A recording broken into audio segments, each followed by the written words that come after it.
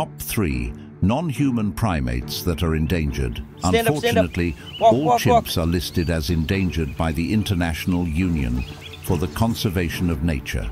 It is estimated that there are approximately 235,000 chimpanzees left in the wild, but some populations, such as the Nigeria-Cameroon chimpanzee, are down to as few as 6,000.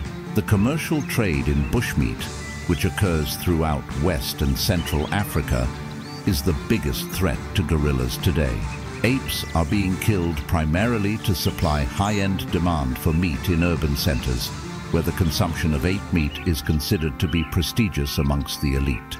There are currently about 55,000 orangutans left in the wild, and it's estimated that about 2,500 orangutans are killed every year.